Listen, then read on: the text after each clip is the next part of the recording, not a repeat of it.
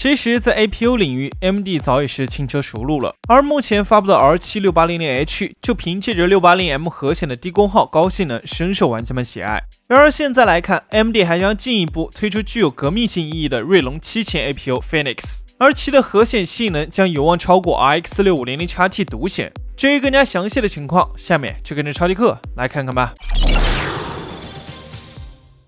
以目前的策略来看，AMD 其实是尤为重视 APU 市场的。早先就在锐龙六千 APU 中，将使用多年的 Vega 架构升级至了专为独显打造的 RDNA 架构，以此来获得 GPU 性能的巨幅提升。但在近日，根据 WC SafeTech 的消息显示，AMD 还将持续发力，以延续 APU 领域王者的传统优势，并会推出具有超强核显的锐龙七千 APU。具体来看，锐龙七千 APU 的产品代号为 Phoenix。将采用台积电五纳米制程工艺，并基于全新的 Zen 四架构打造，最高规格为八核心、十六线程，L 二级缓存为四兆，L 三级缓存为十六兆，TDP 功耗为四十瓦。当然，这种升级也会把主板插槽更换为新一代的 FP 八插槽。至于在核显部分，锐龙七千 APU 将有望升级至 RDNA 三架构，当然不排除保持 RDNA 二架构的可能，但其的 CU 计算单元将会来到二十四个，流处理器数量也会来到一千五百三十六个。整体规格直接是比目前的 Radeon 680M 核显翻了一倍，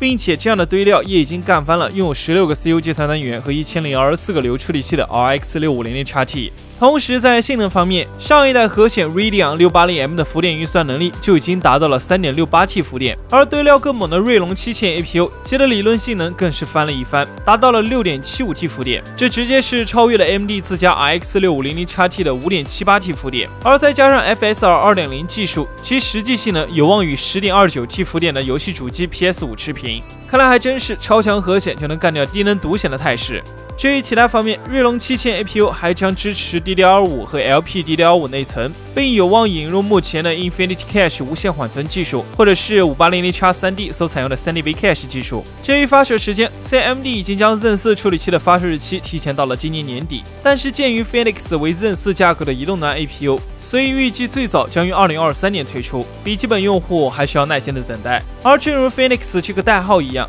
AMD 锐龙七千 APU 将像凤凰一样终结低端显卡市场，重塑市场环境。毕竟不用花费额外价钱购买显卡，就可以流畅游玩本世代三 A 游戏，又有谁会不愿意呢？所以这次还是请把 AMD ES 打在公屏上。好了，以上就是本期视频的全部内容了。而你的意见三连将是我们更新视频的持续动力。那如果还想了解更多硬件相关的消息和科普知识，记得关注超级课。我是李强，我们下期再见。